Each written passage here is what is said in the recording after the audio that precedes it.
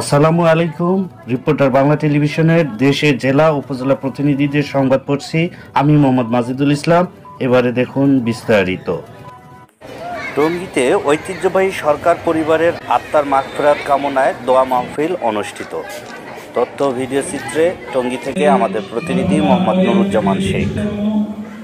গাজীপুর মহানগর টঙ্গী ভরান আমজাদ আলী সরকার পাইলট বালিকা উচ্চ বিদ্যালয় অ্যান্ড কলেজের হল রুম প্রাঙ্গণে বিদ্যালয়ের প্রতিষ্ঠাতা ও বাংলাদেশ তৃণমূল জনতা পার্টির চেয়ারম্যান বীর মুক্তিযোদ্ধা আলহাজ ডক্টর নাজিম উদ্দিন আহমেদ এর উদ্যোগে সরকার পরিবারের মৃত্যু ব্যক্তিদের মরহুম আমজাদ আলী সরকার, দুধ মেহের বিবি, মহিউদ্দিন সরকার, সানোয়ারা বেগম আফতাবউদ্দিন সরকার, রনি সরকার, বিউটি বানিসা খাতুন, আসিয়া সরকার, শাহাবুদ্দিন সরকার, আমজাদ আলী সরকারের সহধর্মিনী, মরিয়ম বিবি, মিজান সরকার, তানভীর হোসেন, সৈকত সরকার, শাহান শাহ আলম, শহীদ সরকার নীলিমা আহমেদ আক্তার বানু ও মোসলেম উদ্দিন সরকারের স্মরণে আলোচনা ও মিলাদ মাহফিলের আয়োজন করা হয়।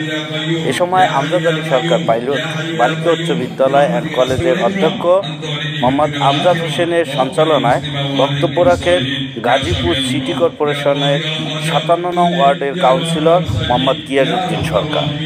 সংরক্ষিত মহিলা কাউন্সিলর রাখি সরকার বীর মুক্তিযোদ্ধা আলহাজ ডক্টর নাজিম উদ্দিন আহমেদ টঙ্গী পূর্ব থানা যুবলীগের সাধারণ সম্পাদক, পদপ্রার্থী লিটন উদ্দিন সরকার স্বেচ্ছাসেবক লীগ নেতা জয় সরকার, রণজিৎ কণ্ঠশিল্পী ইব্রাহিম খলিল প্রমুখ।